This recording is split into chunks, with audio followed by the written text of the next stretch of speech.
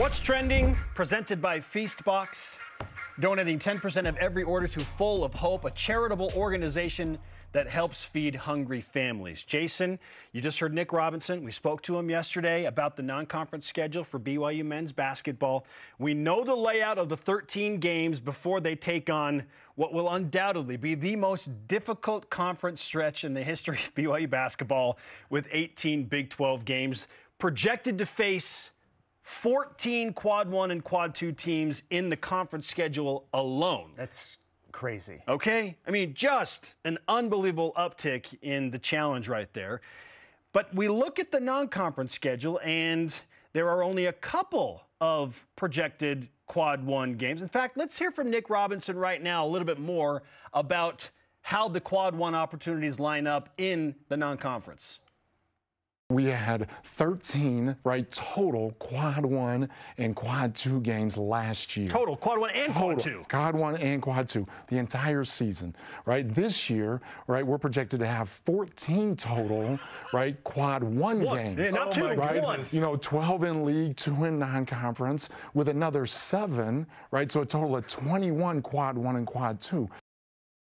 21 quad one and quad it's two. Quite games. the upgrade. So I misspoke a little bit. He said 14 total quad one projected, 12 in conference, and then the two in non conference. And for those that aren't aware of the quadrants, here's your 101 class on this.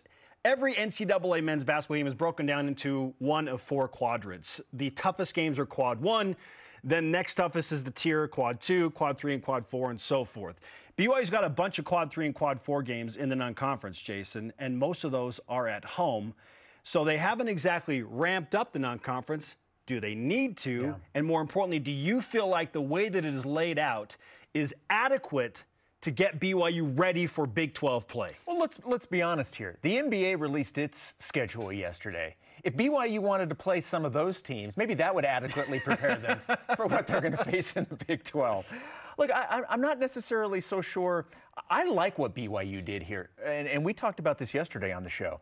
The fact that they have so many home games, I, I think that's going to yep. lend itself.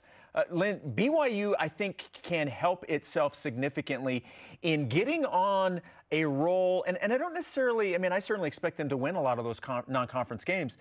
But I, think from a confidence standpoint, I think that could really help BYU go into conference play. Regardless of how conference play plays out, I think getting on a roll, knowing what you have, integrating some new pieces, some new key pieces, you know, into this roster. And, and we don't even know if the roster's done. There's still scholarships that are open and available. And so there's probably still some additions that will come. So I, I think that the non conference, I don't know if you're ever adequately prepared for what you're going to face in the number one college basketball conference in the nation. Yeah. But I like the opportunity for BYU not to have to travel very much, that you can sort of focus. The other part about being at home as often as they are, it lends to more practice time. You're not using up a day or a, you know getting back super early in the morning and then you're sort of sluggish the next day for practice. I think that is a major benefit for what BYU has done in their non-conference, being able to play so many in Provo mm-hmm. or certainly within close proximity to Provo because you have the, the true road game. The only true road game in non-conference is at Utah. Yeah. So we're talking 45 miles north. You've got a, a a neutral site game at the Delta Center. So you're not traveling very much, and that will help you to be able to have more practice time. And that's what the coaches want. They love to see what these teams do in games. Sure. But they they make their mark and I think they feel like they make their greatest strides in those practice opportunities. This type of non-conference schedule will give them more of that type of opportunity. We used to sometimes just shamelessly poke fun at our friends at St. Mary's because every non conference schedule, it felt like in the last 10 years, that the Gaels would put together had them maybe leaving the state of California once. And if they weren't leaving the state of California, everything was in the Bay Area, or maybe there was yeah. like a trip to Southern California. And we were like, whoa, don't hurt yourselves too much traveling all the way to Southern California. But frankly, BYU needs this yeah. now. They're not in the West Coast Conference anymore, so I can still feel validated in poking fun at St. Mary's because for BYU it was we got to go and challenge ourselves in the non-con so that we can create a resume that is good enough at the end of the season that hopefully these teams that we play and maybe beat are still in a place where they have good metrics and we can get into the NCAA tournament. There's no more of that. There's no more like hoping that the schedule will be tough enough. It's just going to be tough enough already if BYU only played its conference games. Like that would be enough. Yeah. But yes, the St. Mary's model for BYU this year with the nine home games, you've got, uh, or is it 10? 10 home games. You've got your neutral side against Fresno State. No, that's, that's right. Nine home games, neutral side against Fresno State, and then you have the MTE, which is neutral in Las Vegas, right? Yes. Okay. Either way, if it's 12 or 13, the majority are home. As to your point, BYU will not have to travel a ton, and the trips that they do make are short. Las Vegas, in many ways, is BYU's home away from home. I love the balance. I love how it's spread out. Very few back to back scenarios outside of the multi team event in Las Vegas. So, yes, home, comforts, your own bed, your own annex. Like BYU's just not going to have to travel a ton. But the thing I like the most is probably what happens from mid December until December 30th when BYU closes things out against Wyoming. And that is almost like this runway to create yeah. momentum. Yes. BYU should be heavily favored in all of those games in December. Okay, specifically, you look at Denver on December 13th, Georgia State on the 16th, then there's some time for finals for the students, and then it's Bellarmine, I believe. Bellarmine. I, I heard Bellarmine and Bellarmine, so one of the two was right. On December 22nd, shout out to Louisville, Kentucky, and Bellarmine, and the Wyoming Cowboys on December 30th. BYU should be, I think, at worst, on a four game win streak as they begin Big 12 conference play. And then if they win at Utah on December 9th, then it's a five game or maybe even more than that of a win streak. And I like that runway to yes. create momentum. That's probably my favorite part of the non conference schedule, aside from just having space and time to breathe in between games and practice. The runway to create momentum for Big 12 play. The other thing, and this goes to what Coach Robinson was discussing, you know, in the sound bites that we just played, because you're playing so many quad one and quad two games, most of which are coming in your conference schedule. Mm-hmm you don't need to beat yourself up in the non conference. It's the exact same argument that we talk about when, when we discuss the, the scheduling future for BYU football. You know, I, I, I'm, I'm on record as look, if you're playing nine conference games, I think those three non-conference games before before Big 12 play, I, am scheduling three wins. So you're not scheduling any more Power Fives. I'm not, I'm not. I'm not scheduling Power Fives in the first three anymore. If it's up to me, okay. because my my whole thing is I want to make sure I'm healthy, heading into the games that really matter. Yes. You don't need to out schedule yourself for basketball in the non conference because your conference schedule is just littered with teams that are going to help with the quad one, quad two. You're going to get a bump just for playing the games. Yeah. You don't need to beat yourself up in non conference. My path for BYU to get into the NCAA tournament, or at least be on the bubble, was to go 11 and 2 in non conference play. I think they have a schedule in front of them, Jason, that will allow them to go 11 and 2, at worst 10 and 3. Because I feel like BYU has to get to 17 wins overall in the regular season. Let's say BYU goes 11 and 2 in non-conference play and then they win 6 Big 12 games. Like going 6 and 12 in the Big 12 sounds terrible on the surface, does it not? Like 6 and 12? That's awful. I remind you that Iowa State last year went 7 and 11. Iowa State went 7 and 11 in conference play last year, okay? They were a six seed in the NCAA tournament, going 7 and 11. That's how good the conference is. If BYU can go 11 and 2 in non-con, which I think they can do, and they can find a way to win six games in conference, they will be bubblicious. That is very exciting. I like the prospect of that. I like that BYU only has two projected quad one games, and who knows if those will even be quad ones. Right. I don't know. Like it's probably San Diego State at home and at Utah. They're the two projected like quad one games. But hey, win one of those, Jason. Find a way to go 11 and 2 in non-conference play, where BYU should be the, the clear favorite in the majority of those those games that are majority uh, at home now you got a shot to be bubblicious. And I think that's uh, like that's good enough for me. That's that's a major step in the right direction based off of what happened the last two years when you finished fifth in the West Coast Conference. Before we move on to some football, we do have some breaking news regarding BYU men's basketball, and they have made the hire of the assistant coach.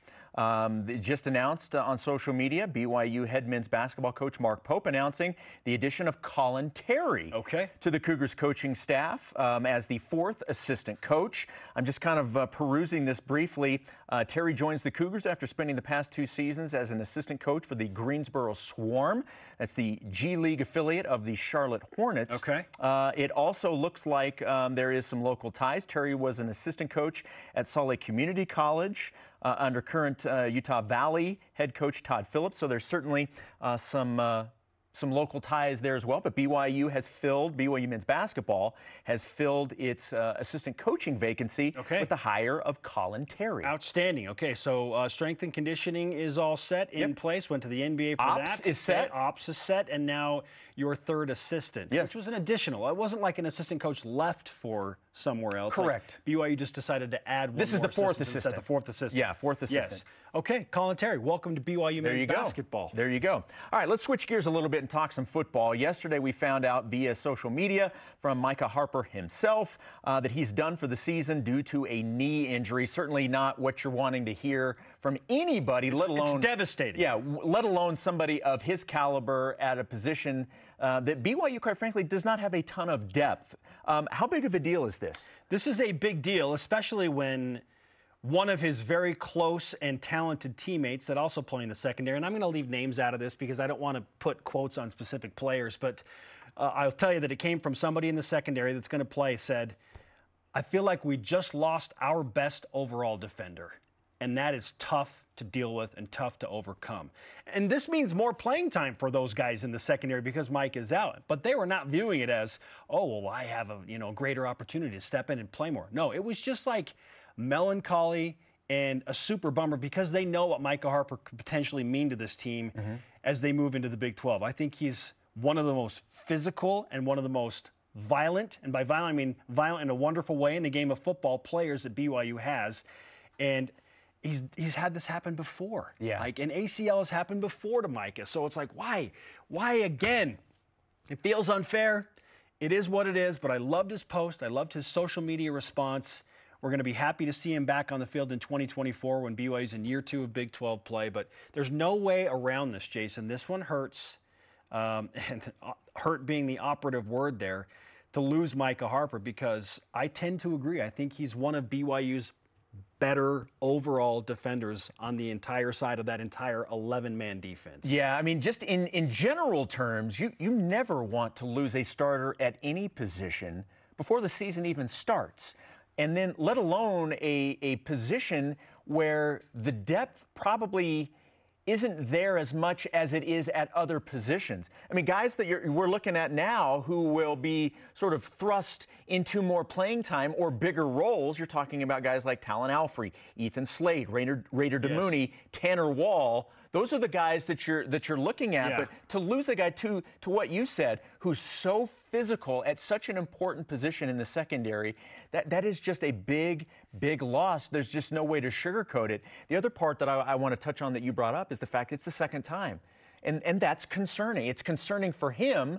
Um, because we know how important he is, and you never want to have to go through that at all, let alone a second time. Well, and I, I want to give credit to Malik Moore and Talan Alfrey specifically because because I feel like Malik, not just based on the Micah Harper injury, but, before this, he was starting to play more physical mm-hmm. and a chip on his shoulder, and, and Malik had really ramped up his play in camp, and Talan Alfrey as well. Like those two guys, Jason, like they, they're bona fide starters, both of them. Like Micah Harper, Talan Alfrey, Malik Moore, like those those three guys were going to play the majority of the reps of the two safety positions, straight up. Now it's just the two for the two.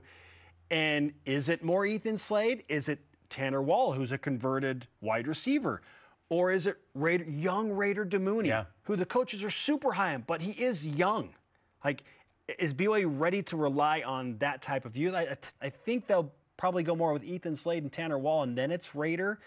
But I hate that BYU has to even consider that Yeah. at this point. I hate that they lost Micah Harper, and we wish the best of him clearly. Like, we love Micah. Great, great young man.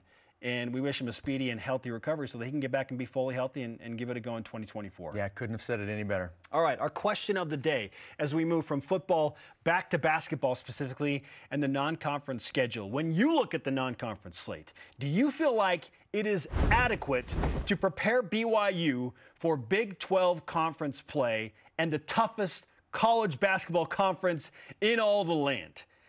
You tell us. Jason, I never let you read the first tweet. You read the first tweet. Okay, let's go with uh, on X. Uh, from True Blue, BYU 1984. It's a good non conference schedule, but nothing will prepare us for our first Big 12 basketball season. Nothing?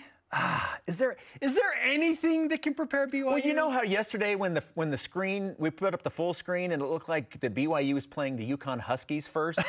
if they were to schedule UConn for and game, San Diego State, that, that may. I don't know that may prepare. There's some that's hilarious because San Diego State and UConn played in, in the, the, national, national championship yeah. last Pretty year. Pretty crazy. So, huh? Yeah, just when I saw those graphics, I was like, I'm sorry, is BYU opening up against the two teams that played for the national title?